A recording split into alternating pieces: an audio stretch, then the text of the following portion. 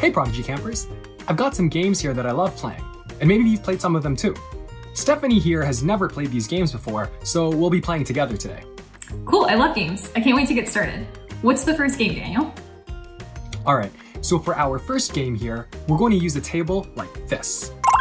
I'm going to roll a die, and whatever number comes up, Stephanie, you'll get to choose whether you put that number under the tens column or the ones column.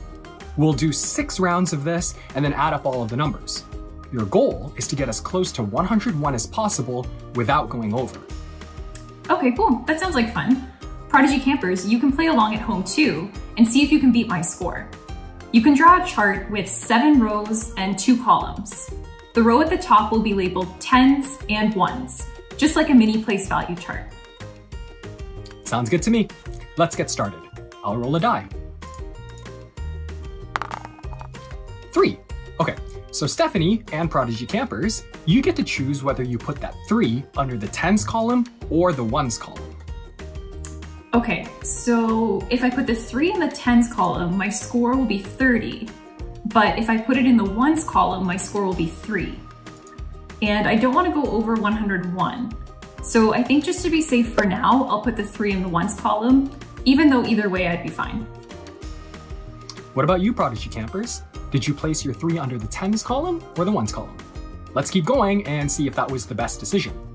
I'll roll again. Okay, so it's a two. And if I place my two in the tens column, my score will be 23. But if I place the two in the ones column, my score will be five. So I think I'm gonna place the two in the tens column just so that I can increase my score and start getting closer to 101. All right, ready to roll again? Let's do I'll it. Go ahead and... One. Okay, Stephanie, what's it gonna be? Tens or ones?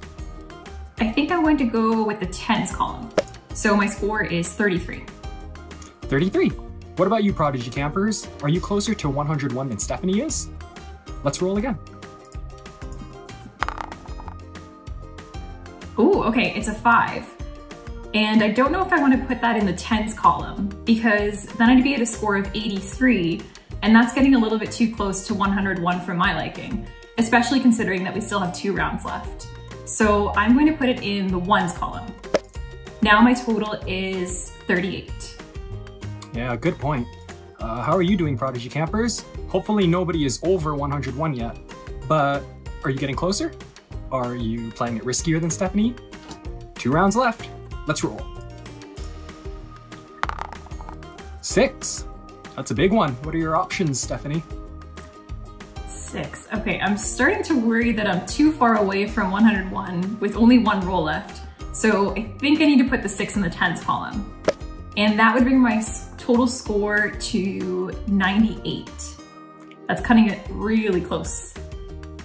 Are you willing to take that risk, Stephanie? You could lose it all. That's very true, but I think I need to go for it. All right, so that brings your total to 98. Ready to roll? We're looking for a one to three, a, we're looking for a one, two, or three. Okay, let's roll. And it's a four. Oh no. uh, all right, well, it was worth the risk. I, I'd go over either way, um, but I guess I'll just put it in the ones column. One's column it is. So sorry, Stephanie. Uh, but what about our campers at home? How did you do? Were you able to get close without going over? Okay, can we try this one more time? I feel like I have a different strategy and I really, really, really want to test it out. All right, sounds good to me. Let's do one more round, and I think I'm gonna play along too. Just gonna write down my choices. Okay. Ready? Let's do it. First, first roll. Five. Okay. Um, I think I'm going to start by putting the five in the ones column. And since I'm playing two, let me just write down my choice really quickly. Okay. Ready? Let's roll again. Four. I think I'm going to put that in the tens column. So now my total is 45. And I'm gonna put in my choice. And so I'm good to roll again. Let's do that. Two. Hmm. Okay, I think I'm gonna put that in the tens column so that my total is 65. All right, halfway there. Next round. Another four. Okay, this time I'm going to put that one in the ones column. All right, you still playing along? How are you doing, campers? My score is looking pretty good, and I'm ready for the next one. So let's roll. Five. I will put the five in the ones column. All right, last roll. Hope it's a good one. Two. Ooh, that's actually perfect. I will put that in the tens column. So my total is 94. No way. I got I got the same thing. Oh wait. So if you got the same thing, then do we always get the same total since we were using the same dice rolls? Uh, I don't know about that. Uh, but I wonder what our campers found.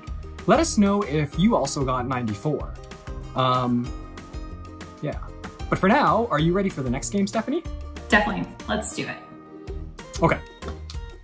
So, game two. I've got this grid here. It's 10 squares by 10 squares. And what I'm gonna do is I'm going to roll two dice.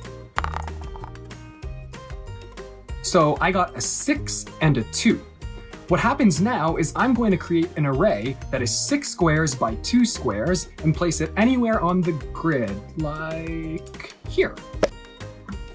The goal of this game is to cover as much of the grid as you can without overlapping any of the other arrays. So go ahead and give it a go, Stephanie. Okay, sounds good. So Prodigy Campers, let's see if we can win this time. I'm just gonna give a roll here. Okay, so I rolled a six and a four. Nice. So now you'll make an array that is six squares by four squares. Okay, can I put it horizontally like this? Yep, that looks great to me. You're fine to place it however you like as long as it doesn't overlap with any of the other arrays. Uh, looks like your team's winning right now, but let's see if I can change that. I'm going to roll. Okay, five and five. It won't fit at the bottom here, so I guess I'll place it a little bit higher, like here. Okay, sounds good. It's our turn. Okay, so we got a five and a three. Luckily, we can still place this. So let's put it over here. All right, back to my turn. I will roll. Four and five. Well, it looks like this won't be able to fit anywhere on the board. Okay, so what happens next? If I can't take my turn, and then you can't take your turn right after, then the game is over. But if you are able to place your array somewhere, then we go back to playing like normal. Oh, okay. So the game continues until both players miss a turn back to back? Yeah, exactly. So I'm really hoping that your team pulls through for my own sake. All right, let's see what happens here.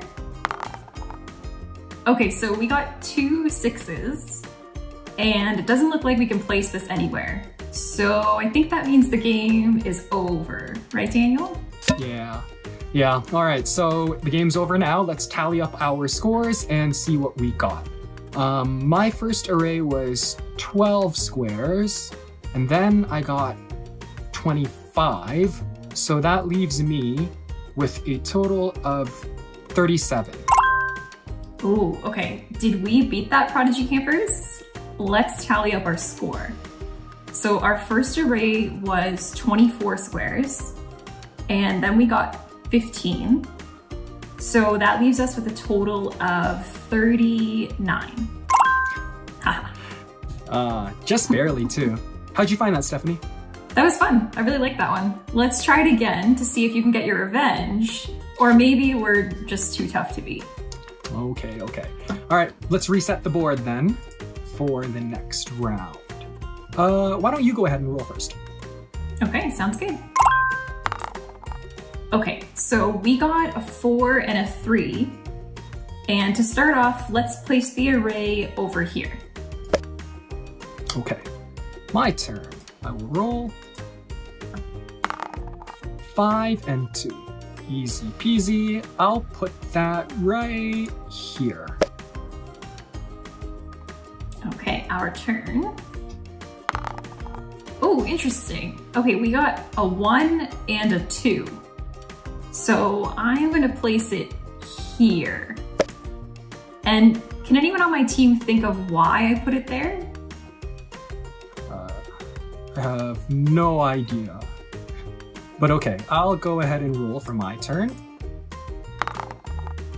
Two and three. Okay, sweet. Um, I think that will fit perfectly right here. Nice and snug. Okay, your go. Okay, cool. We got a six and a three. So I think it would be best if we put that right here.